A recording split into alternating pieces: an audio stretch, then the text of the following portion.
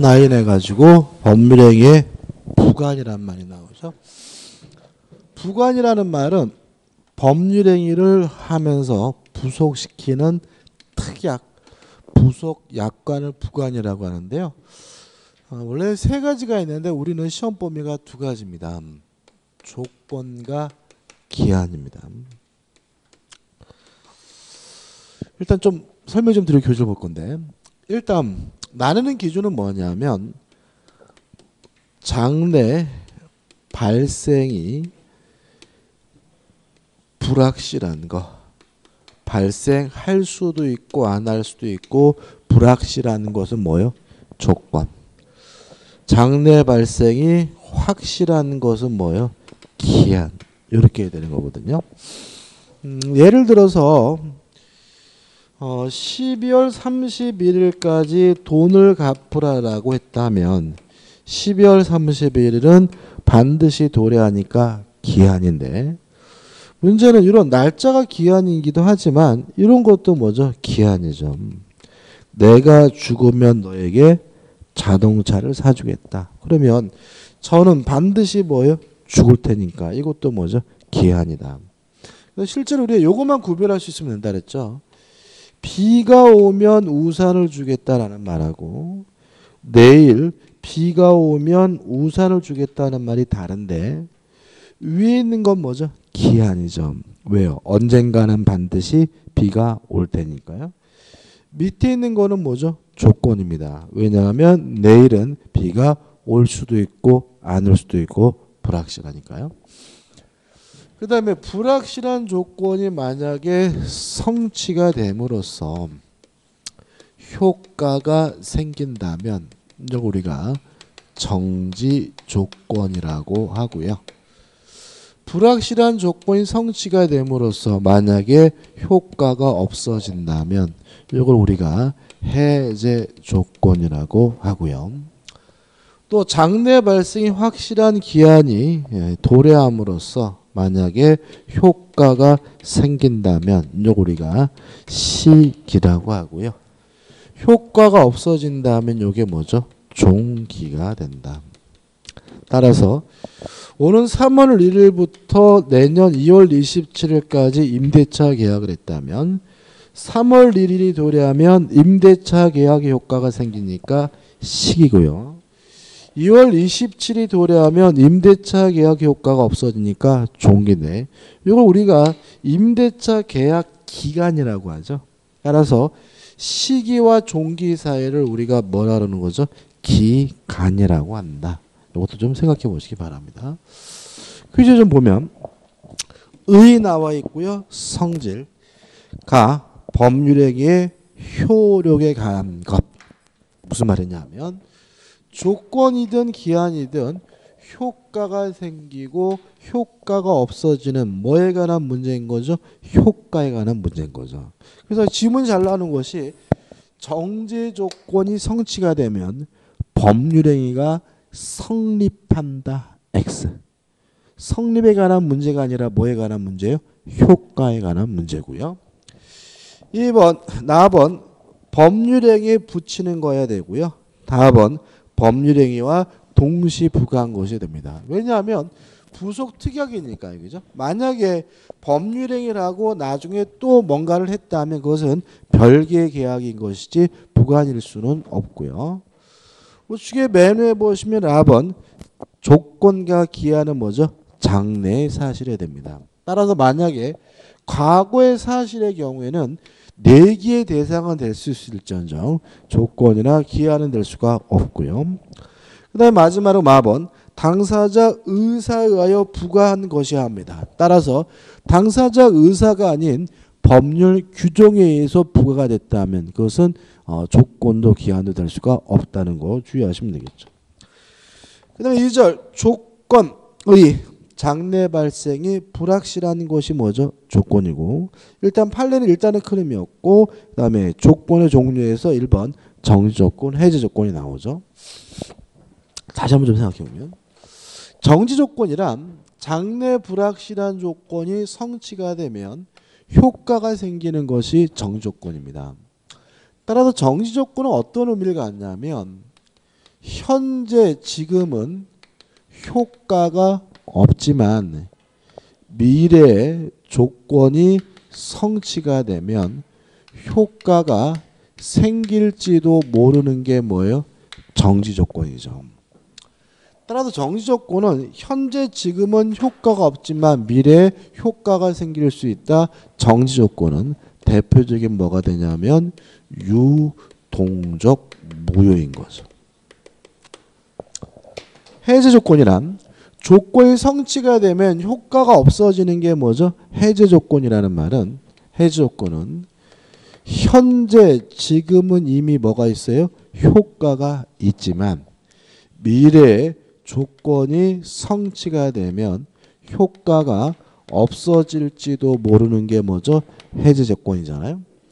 따라서 해제 조건은 일단은 유효하지만 무효로 뒤바뀔 가능성이 있는 것이니까 해제 조건부 법률행위는 뭐가 되냐면 유동적 유효인 거죠.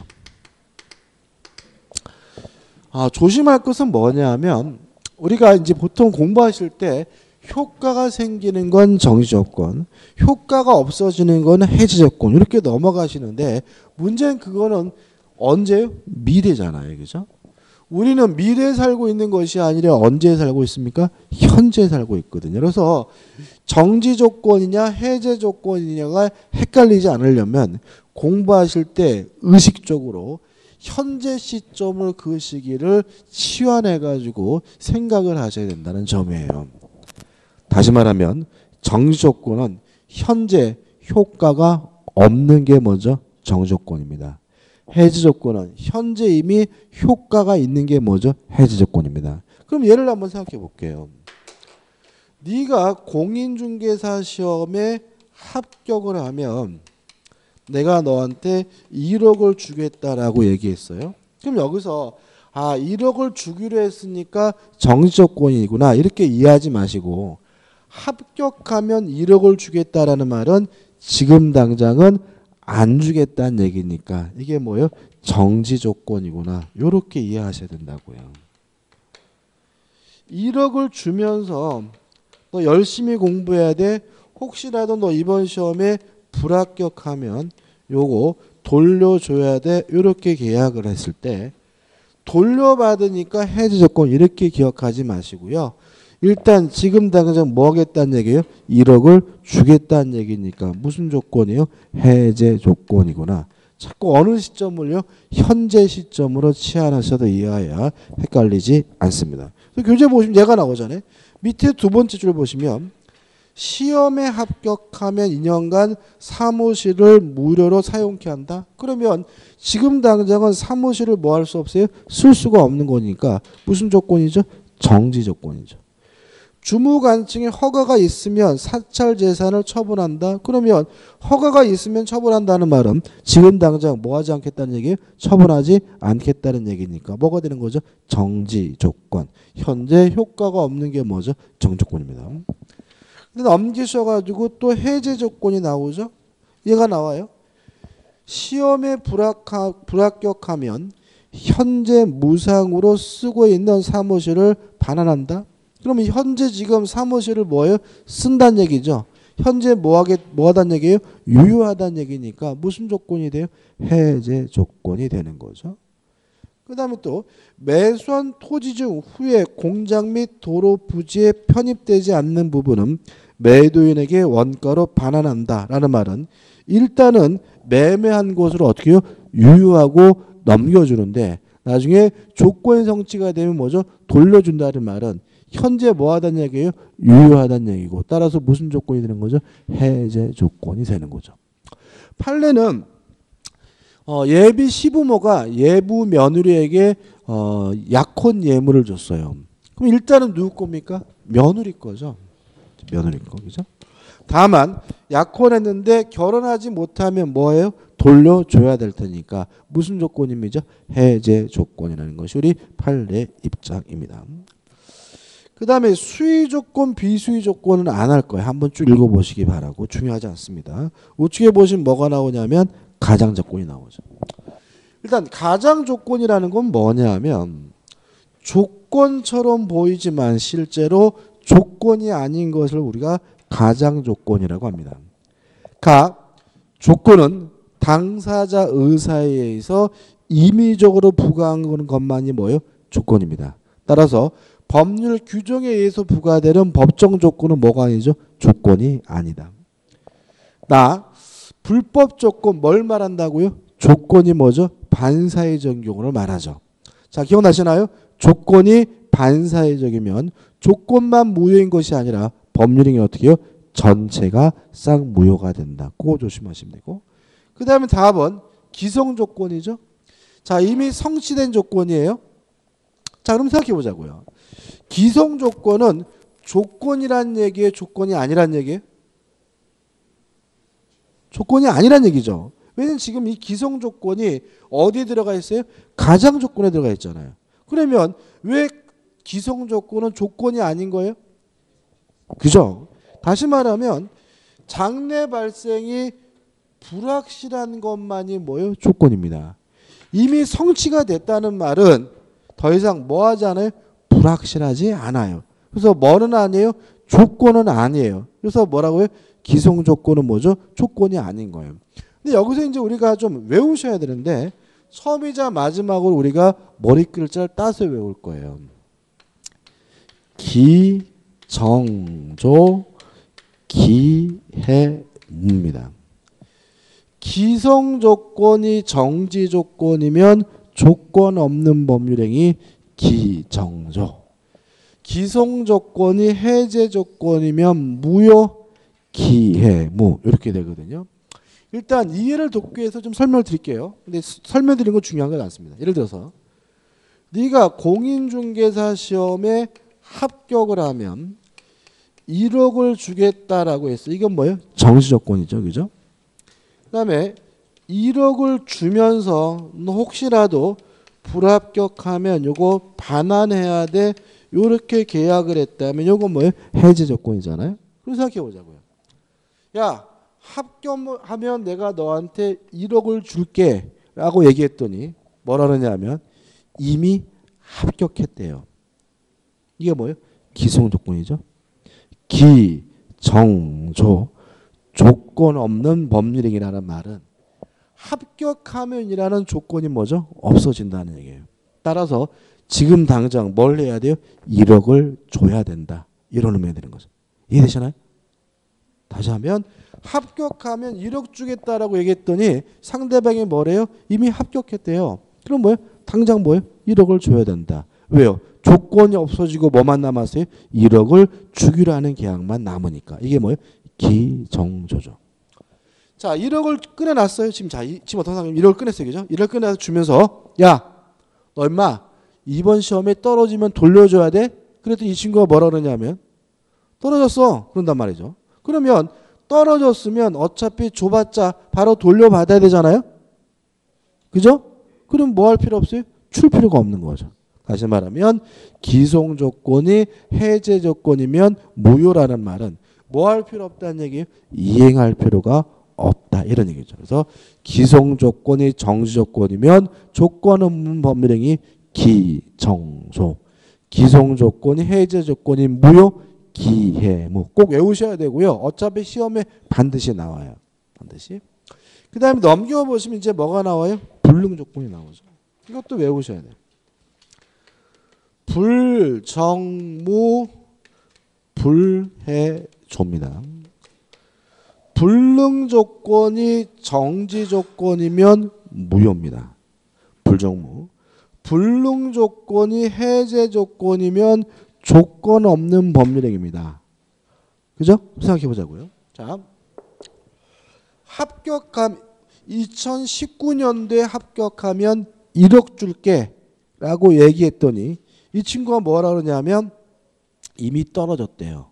그러면 떨어졌다면 합격하는 것이 뭐죠? 불가능하잖아요. 그럼 저는 이 친구한테 앞으로도 그렇고 지금도 그렇고 뭐 할 일이 없는 거예요? 1억을 줄 일이 없는 거죠. 따라서 불능 조건이 정지 조건이면 무효라는 말은 뭐 할 필요가 없다는 얘기 이행할 필요가 없다. 이렇게 되는 거죠. 그 다음에 1억을 주면서 야 임마 너 떨어지면 돌려줘야 돼 그랬더니 나 이미 합격했거든.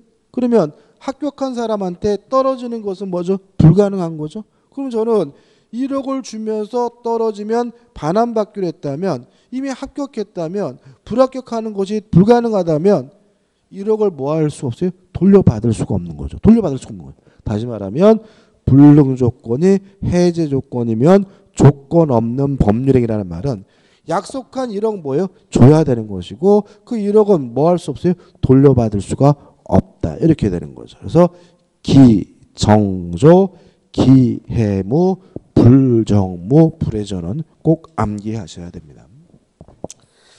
그다음 2번 조건을 붙일 수 없는 법률에서 1.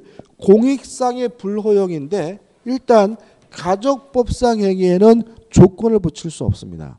왜냐하면 가족법상 행위에 조건을 붙이게 되면 뭐죠? 반사회적 법률에서 무효가 되는 거죠.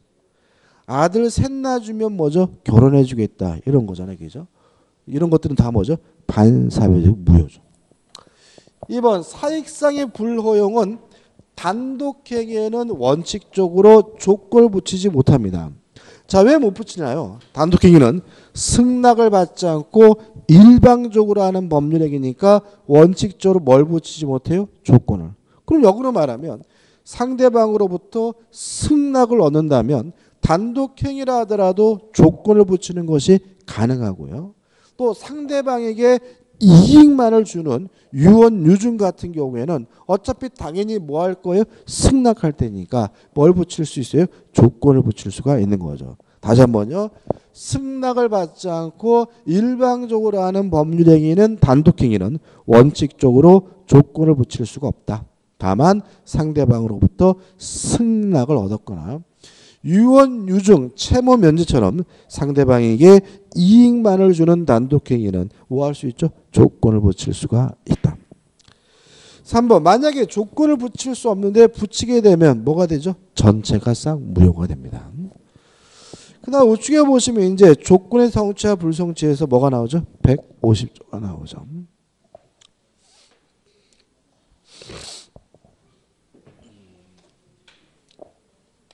갑이 을에게 네가 공인중개사 시험에 합격을 하면 1억을 주겠다라고 얘기를 했어요. 요게 좋은 말이 아니라 그랬죠. 이게 무슨 뜻이라고요? 네 대가리 가지고는 안 돼.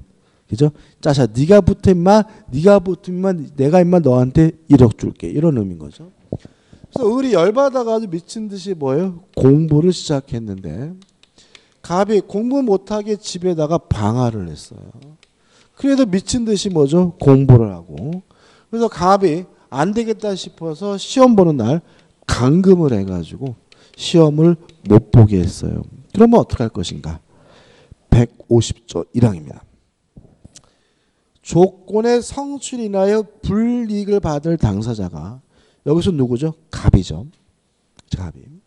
신의 성실에 반하여 조건의 성실을 방해한 때 공부 못하게 방하고 시험 못 보게 감금한 때에는 상대방은 누구죠? 을입니다.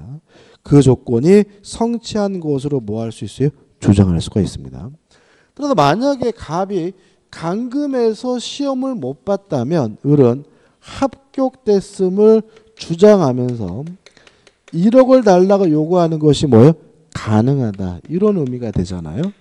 근데 여기서 좀 조심할 것은 뭐냐면 을이 그날 당장 1억 달러가 요구할 수는 없고 합격자 발표일까지 기다렸다가 1억을 달라고 요구해야 된다는 것이 우리 판례 입장입니다. 왜 그러냐면 한 장을 넘겨보시면 아, 한 장 넘기지 마시고 아, 넘기면 안 되겠죠. 넘기지 마시고 다시 197페이지 하단에 보시면 밑에서 일곱 번째 줄 2 조건 성취로 의제되는 식이 나와 있죠. 제가 읽어보면 조건이 성취된 것으로 의제되는 시기는 신호 측에 반하는 행위가 없었더라면 조건이 성취되었으라고 인정되는 때입니다. 다시 말하면 갑이 감금 안 했다면 을은 언제 합격할 수 있던 거죠? 합격자 발표일에 대하 비로소 합격할 수 있는 거죠. 따라서 그날 오후에 당장 합격됐음을 주장하면서 1억 달라고 주장할 수는 없고 발표일까지 기다렸다가 1억 달라고 요구해야 됨을 주의하시 바랍니다. 근데 반대가 있을 수 있죠. 합격하면 1억을 주겠다고 했는데 갑의 예상대로 을은 전혀 공부를 안 해요. 공부를 전혀 안 해서 전혀 신경을 쓰고 있지 않았는데 그런데도 합격을 했어요. 근데 이 시험이 아시다시피 공부 안 하고 합격할 시험이 아니잖아요. 그래서 갑이 이성에서 알아봤더니 을이 실력이 좋아서 합격한 것이 아니라 시력이 좋아서 컨닝을 해가지고 합격했다는 사실이 밝혀졌어요. 그럴 때는 어떻게 할 것인가? 그렇죠? 다시 150조 법조입니다. 이해합니다. 조건의 성실인하여 이익을 받을 당사자가 여기서 누구죠? 을이죠. 신의 성실에 반하여 조건을 성취시킨 때에는 커닝에서 합격한 때에는 상대방은 갑은 그 조건이 성취하지 아니한 것으로 뭐할 수 있어요? 주장할 수 있는 거죠. 다시 말하면 갑은 커닝에서 합격했다는 사실을 입증하면서 1억 못 주겠다라고 뭐 할 수 있어요? 거부할 수 있다라는 거 꼭 기억해 두시 바라고 자세하게 공부하는 부분이 아니라 지금 읽어본 요 법조문 이해하고 그다음에 의제되는 시기 요것만 주의하시면 되는 부분인 거죠. 그다음 넘겨 보시면 조건부 법률에 효력해 가지고 148조 침해 금지가 나오죠. 자, 이건 이런 문제입니다. 갑이 을에게 뭐라 그랬냐면 네가 공인중개사 시험에 합격을 하면 내가 살고 있는 아파트를 주겠다라고 얘기를 했어요. 그래서 을이 열받아 가지고 미친 듯이 뭐죠? 공부를 시작하고 갑이 가만 보니까 꼼짝없이 아파트를 뺏길 것 같아요. 그래도 우리가 방금 본 것처럼 뭐 공부 못하게 방해하거나 시험 못 보게 방해하더라도 의미가 없죠. 을은 갑에게 조건이 성취됐음을 주장할 수 있다. 합격됐음을 뭐 할 수 있어요? 주장할 수가 있으니까요. 그래서 갑이 고민하다가 요 아파트를 병에게 팔아먹었어요. 팔아먹고 병에게 이전 등기를 해줬을 때 요 매매 계약은 어떻게 할 거냐? 요 문제입니다. 그죠? 자, 148줄 읽어볼게요. 조 건 있는 법률행위 당사자는 조건의 성부가 미정한 동안에 조건의 성취를 인하여 생길 상대방의 이익을 해하지 못합니다. 자, 우리 148조가 이러한 매매를 하지 말라고 뭐 하고 있는 거죠? 금지하고 있는 거죠. 왜냐하면 지금 약속대로 을이 합격했을 때 어, 갑은 이 아파트를 을에게 뭐 할 수 없어요? 줄 수가 없잖아요. 그러면 이러한 매매는 이러한 처분은 결국은 어, 조건의 성취로 인하여 생길 상대방 이익을 해하는 행위이기 때문에 우리 민법은 팔지 말라고 뭐 하고 있어요? 금지하고 있는 거죠. 근데 문제는 금지만 하고 있을 뿐 했을 때 그 효과가 어떻게 되느냐에 대해서는 규정이 없는데 자 우리 판례는 148쪽 하지 말라고 금지하고 있으니까 일단은 뭐죠?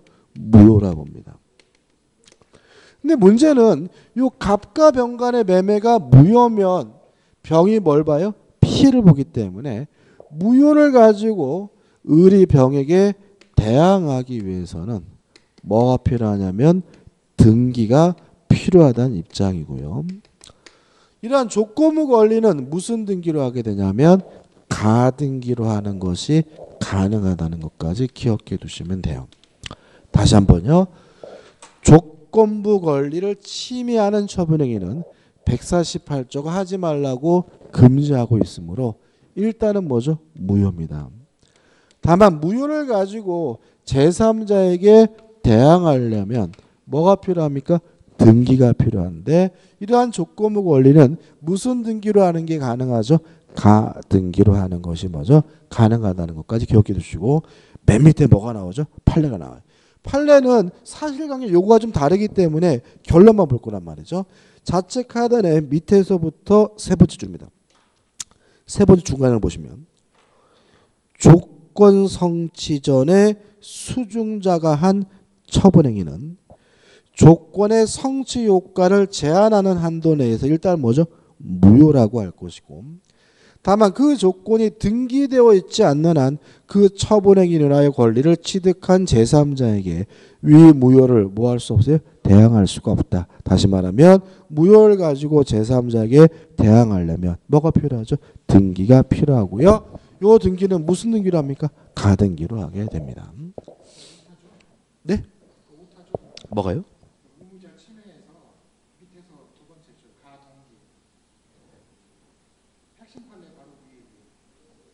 아, 가, 같은 기죠, 그죠? 못하네, 그죠?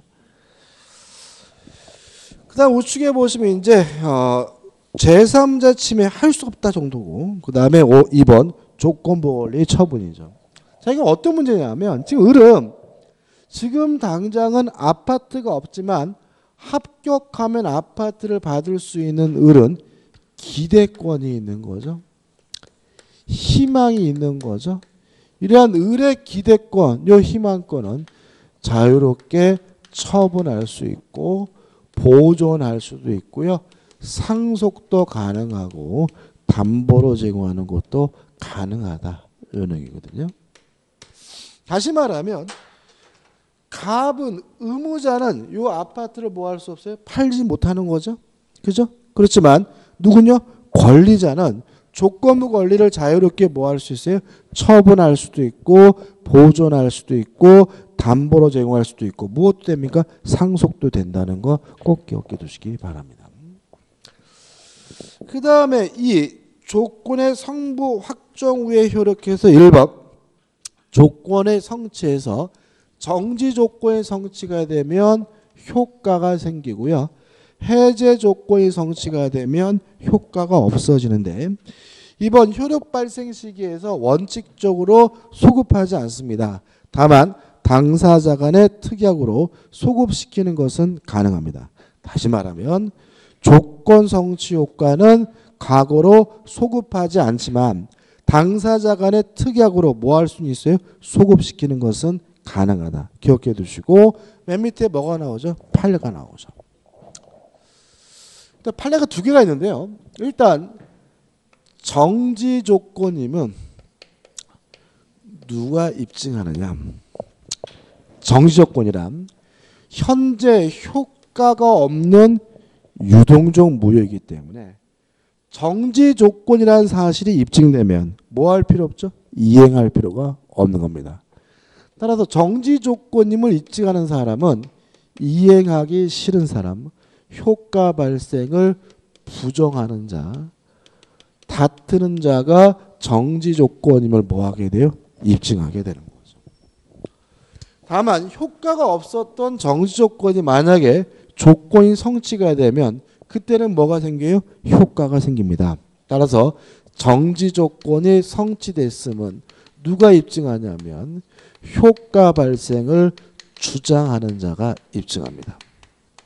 시험에 아주 잘 나옵니다. 첫 번째 판례는 요거죠. 정지 조건이 성취됐으면 누가 입증합니까? 효과 발생을 주장하는 자가. 왜냐하면 정지 조건이 성취가 되면 효과가 뭐죠? 생기니까요. 그 다음 넘기셔가지고 200페이지 나와 있는 판례인데 자 읽어볼 거거든요. 이 판례는 자 읽어볼게요. 어떠한 법률 행위가 조건의 성취 시 법률의 효력이 발생하는 소위 정지조건부 법률행위에 해당한다는 사실은 그 법률행위로 인한 법률 효과의 발생을 저지하는 사유예요. 왜 정지조건이 효과 발생을 저지하는 거죠?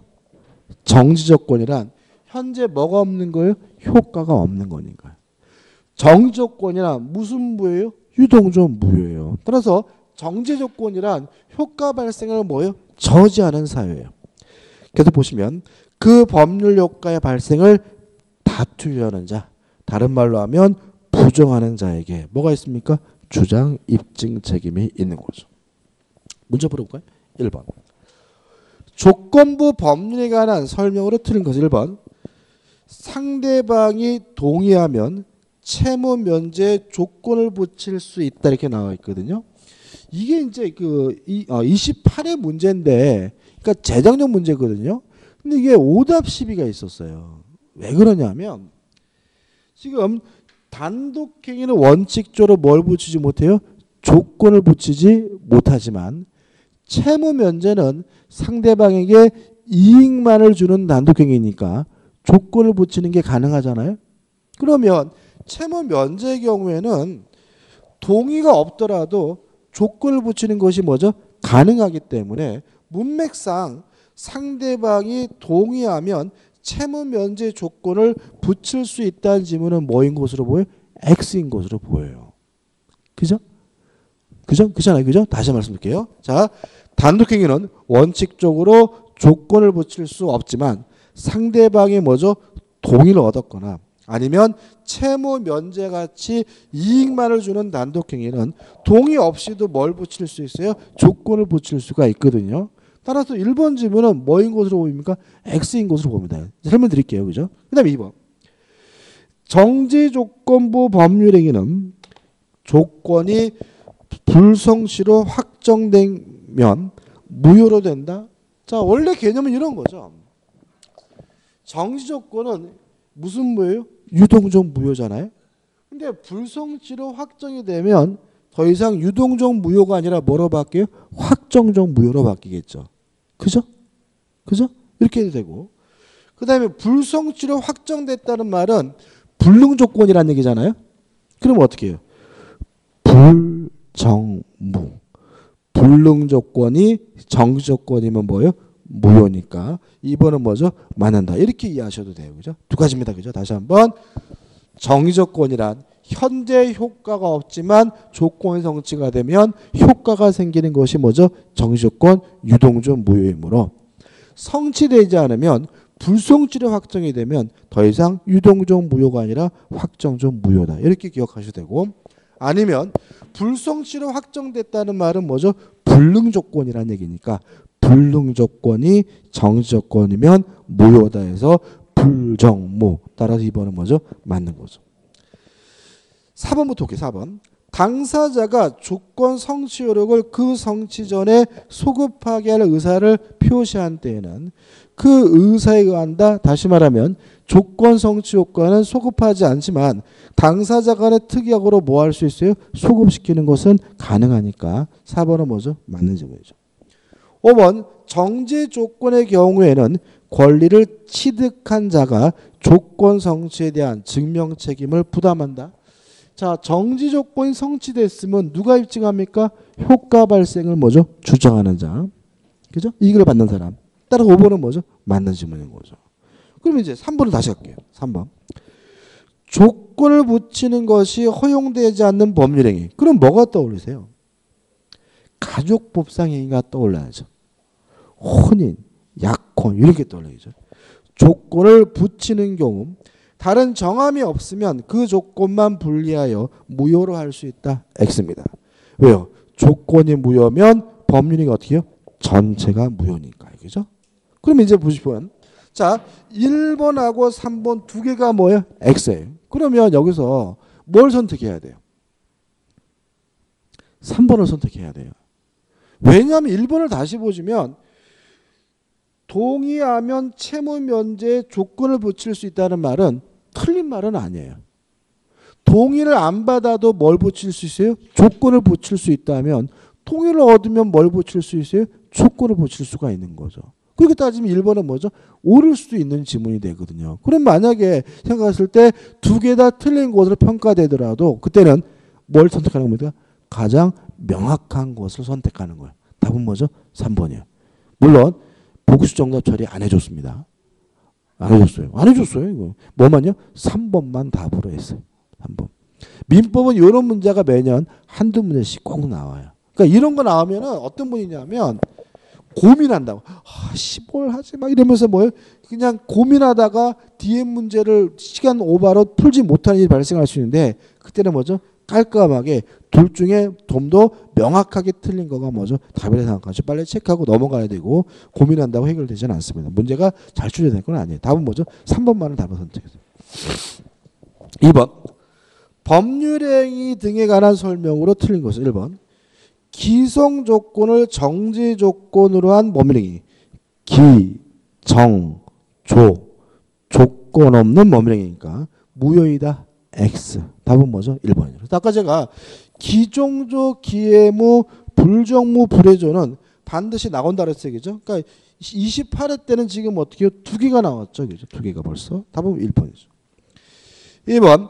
의사표시가 발생된 후라도 도달하기 전에는 표의자는 그 의사표시를 철회할 수 있다. 맞나요?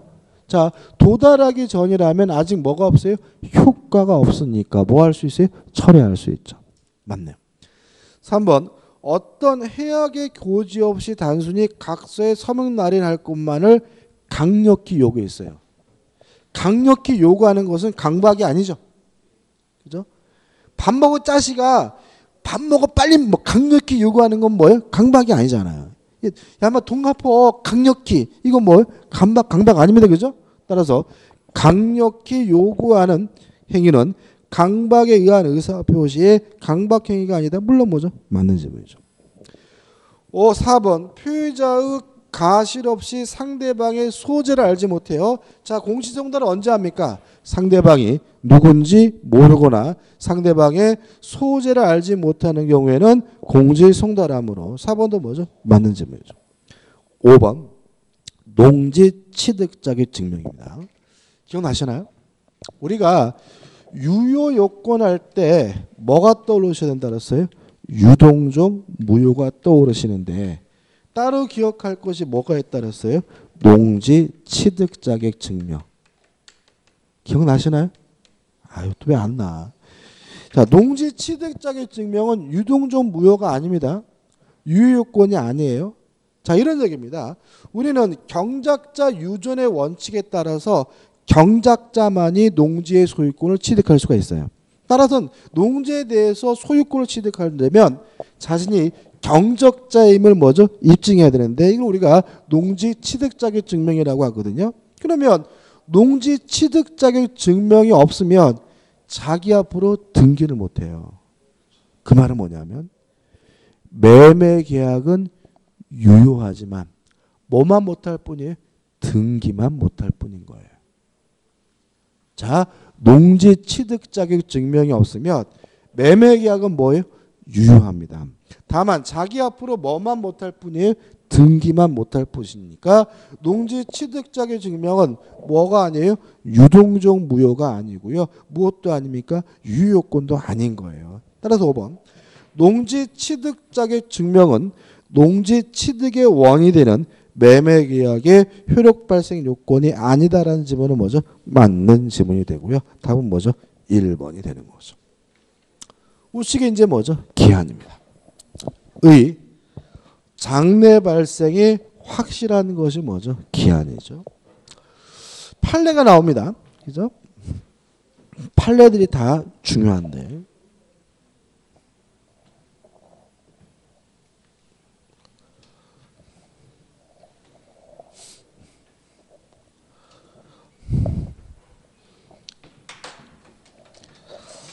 제가 요새 좀 살을 많이 뺐거든요. 살 빠진 거 빼진 거 느끼시네? 저 8kg 뺐어요. 8kg. 네, 8kg. 근데 저 같은 돼지들의 특징이 뭐냐면 웬만큼 빼도 티가 안 나더라. 8kg 뺐어요. 8kg. 뭐 그냥 식사는 줄이고, 그러니까 뭐 국물 질수 있으면 안 먹고, 안 먹고. 그 다음에 많이 걷고, 수용하고 수용하고 이러면서 제가 8kg를 뺐는데 뭐 하려고 얘기 나왔지? 그래서 그런지 제가 추워요. 추위를 많이 타는 것 같아요. 그래가지고 어젯밤에 이제 수업 끝나고 저녁 먹고 나서 어 막 날씨가 뭐 굉장히 춥다고 느꼈거든요.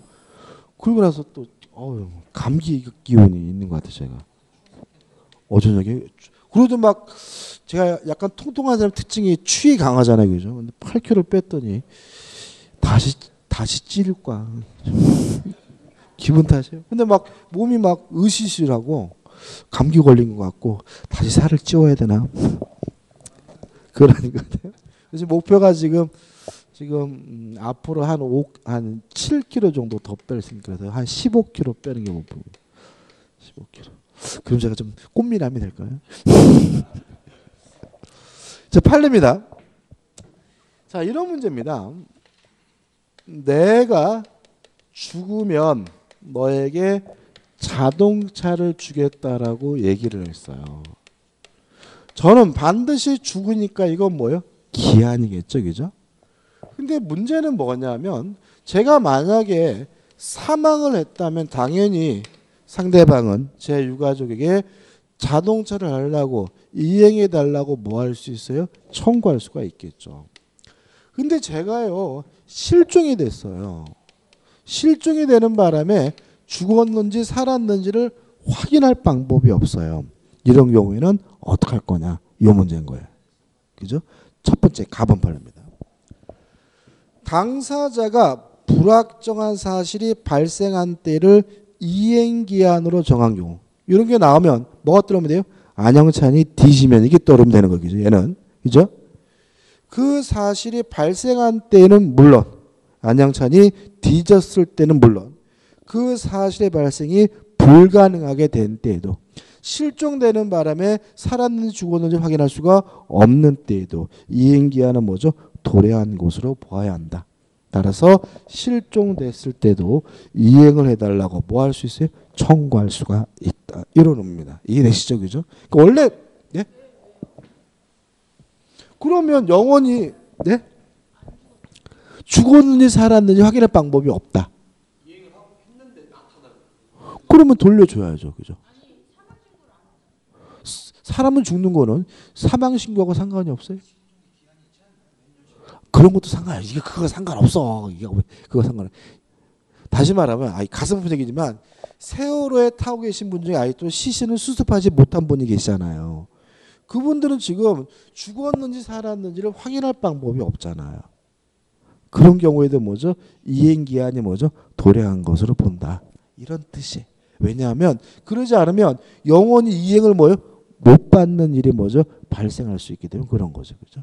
이해되시죠? 돌려줘야죠. 당연히. 그죠? 그 다음에 이제 나버입니다 자, 이런 거죠. 을이 갑에게 예를 들어서 3천만 원을 빌려줬어요. 우리 올해 시험 며칠 날 보죠? 28일 날 보나요? 20년 그러면 그리고 나서 10월 22일 날 변제하기로 했어요. 3천만 원 너무 많다. 3천만 원. 예를 들어서 500만 원을 뭐죠? 빌려주면서 며칠 날 갖기로 했어요? 10월 22일 날. 생각만 해도 쪼글쪼글하시죠? 그러니까 26일 날 시험인데 22일쯤 되면 뭐예요? 막 뭐죠? 그 막 심장이 벌렁벌렁거리고 막 잠도 잘 안 오실 것 같죠, 그죠? 안 그렇습니다. 아무튼 12월 22일 날 먼저 변제를 했단 말이죠. 그래서 이제 의리 가봤는데 전화 온 거죠. 예를 들어서 한 10월 한 15일쯤에 야 22일 날 돈 갚기로 했는데 준비가 되니? 그랬더니 갑이 뭐라 그랬냐면 그딴 소리 하지 마. 나 괜히 그지 같은 공인중개사 시험 공부하는 바람에 정신이 없어. 아주 미치겠어. 이 그지 같은 거 왜 시작했는지 몰라. 나 바빠 죽겠어. 라고 하니까 의리 깜짝 놀라서 어 그래? 그렇게 힘들어? 그러면 너 시험 보면 변제해. 이렇게 얘기를 했어요. 이해되시죠? 이제 22일 날 갚기로 했는데 그렇게 힘들어? 바빠. 그러면 시험 보면 뭐죠? 갚어. 이랬단 말이죠. 근데 갑이 이제 26일 날이 됐어요. 근데 시험 보러 가려고 하니까 떨어질 거는 뭐죠? 기정사실인데 시험 보면 뭘 해야 돼요? 돈을 갚아야 돼요. 그래서 시험을 안 봤어요. 이거를 어떻게 볼 것인가 문제예요. 그죠? 자, 첫 번째 판례입니다. 나번, 나번 판례죠. 부간이 붙은 법률행위 있어서 부간에 표시된 사실이 발생하지 아니하면 채무를 이행하지 아니해야 된다고 보는 것이 상당한 경우에는 조건으로 보아야 하고 이게 무슨 말이냐면 만약에 시험을 안 보면 안 갚아도 되는 것이라면 뭐로 봐야 돼요? 조건으로 봐야 된다는 거예요. 그죠? 지금 뭐라 했어요? 시험 보면 갚아라라고 했잖아요. 근데 말 그대로 시험을 안 보면 안 갚아도 되는 거라면 이건 뭐로 봐야 돼요? 조건으로 봐야 하고요. 계속 보시면 표시된 사실이 발생한 때는 물론이고 반대로 발생하지 아니한 것이 확정된 때에도 그 채무를 이행하여 한다고 보는 것이 상당한 경우. 무슨 말이에요? 보면 갚고 안 보더라도 갚아야 되는 것으로 보이는 것이 상당한 경우에는 표시된 사실의 발생 여부가 확정되는 것을 불확정 기한으로 정한 것으로 보아야 한다. 따라서 이미 부담하고 있는 채무의 변제에 관하여 일정한 사실이 부관으로 붙여진 경우 다시 말하면 시험 보면 돈을 갚기로 한 경우에는 특별한 사정이 없는 한 그것은 변제기를 유효한 것으로서 그 사실이 발생한 때 시험을 봤을 때 또는 발생하지 아니한 것 확정된 때 시험을 안 봤을 때도 기한은 뭐죠? 도래한다. 이해되시나요? 다시 말하면 요거는 시험 보면 갚으라라고 했으면 마치 뭐처럼 보여? 조건처럼 보이죠. 그죠? 근데 우리 판례에 따른다면 이거는 보든 안 보든 뭐요? 갚아야 된다는 거예요. 왜 그러냐면 이거는 기한이기 때문에. 자, 10월 22일 날 변제하기로 했는데 시험 보면 갚으라는 얘기는 말 그대로 시험 보면 갚으라는 얘기가 아니라 변제기를 10월 26일까지 뭐 한 거예요? 연장해 준 거예요. 유효한 거예요. 이해되시죠? 따라서 이 사례는 시험을 보든 안 보든 뭘 내야 돼요? 돈을 갚아야 되니까 이것은 조건이 아니라 뭐인 거예요? 기한이라는 것이 우리 판례 입장입니다. 다시 한번요.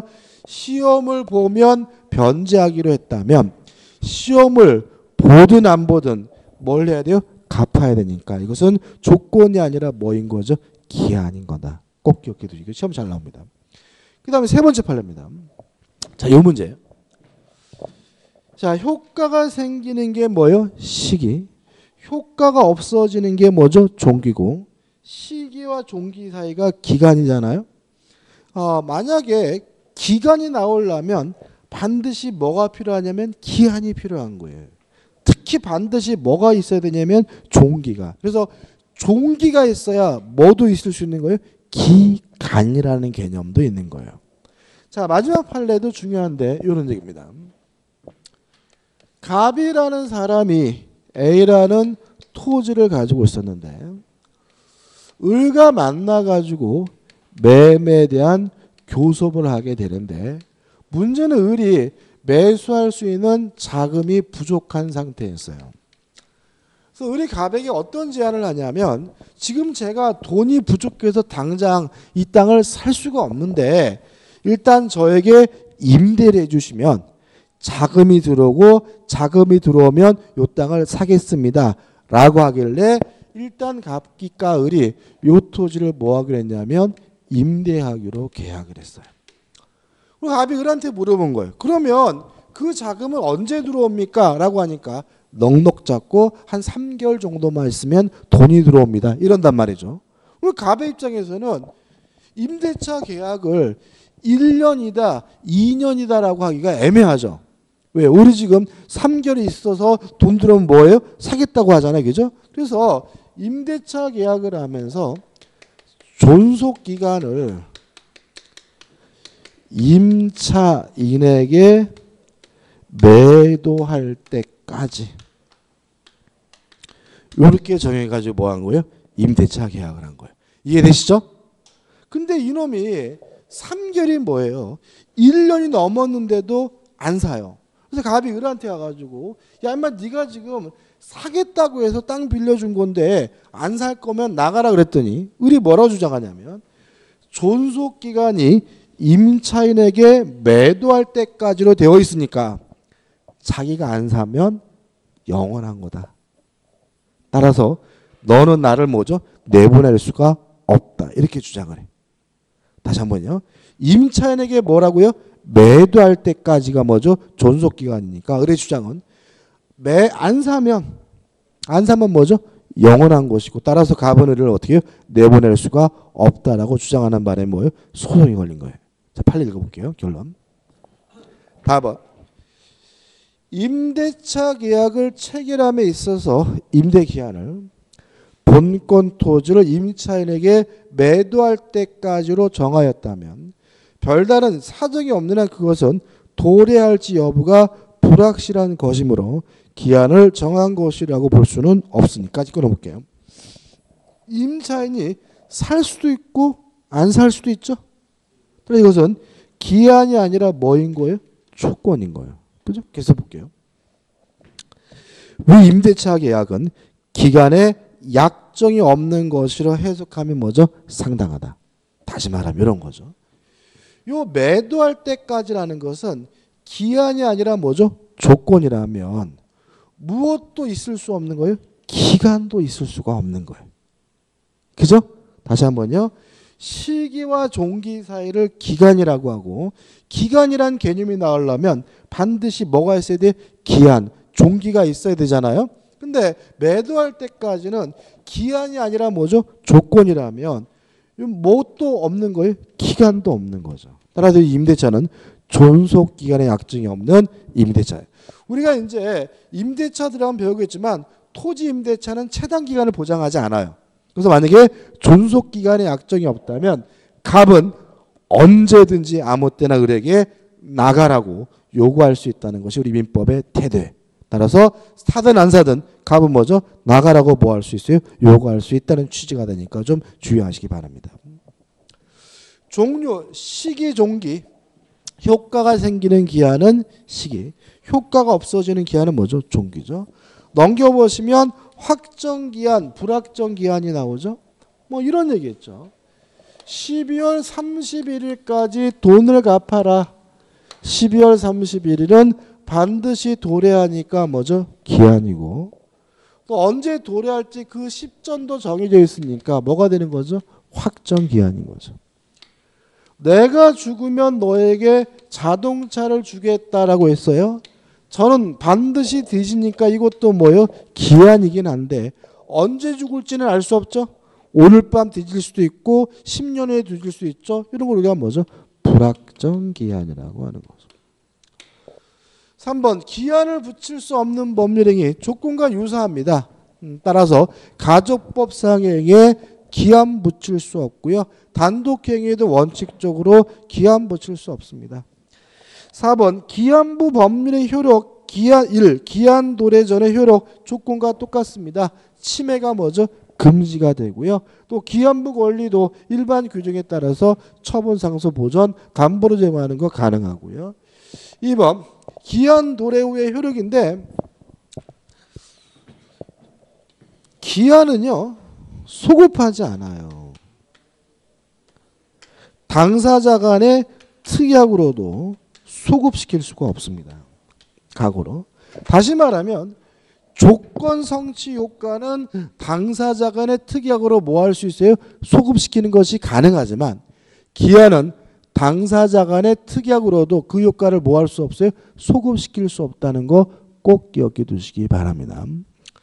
그 다음 우측에 보시면 이제 뭐가 나오죠? 기한의 이익이 나옵니다.